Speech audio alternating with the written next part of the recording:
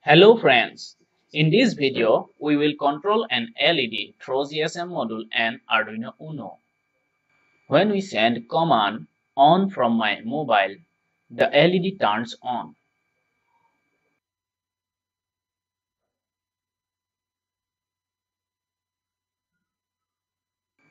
And when we send command off from my mobile, the LED turns off.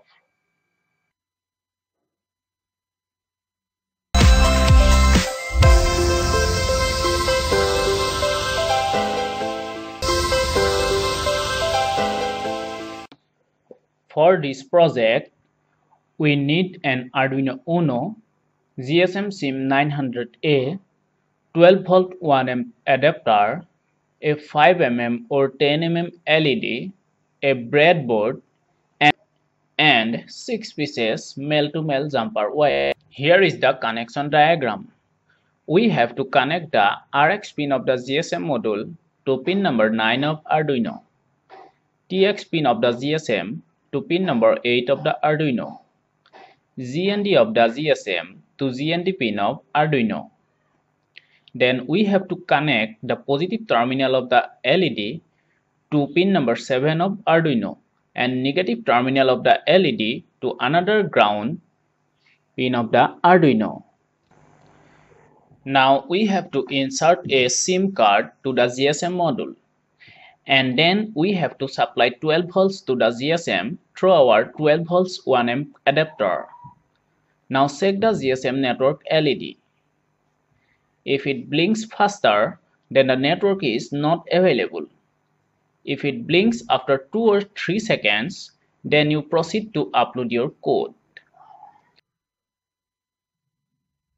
Here is our code. You will get the code by clicking the link given in the description of this video. If you want the explanation of the code, click the I symbol to watch the explanation of the code. Now our project is ready. Upload the code to Arduino Uno via Arduino cable. Here we can see when we send command on from my mobile, the LED turns on.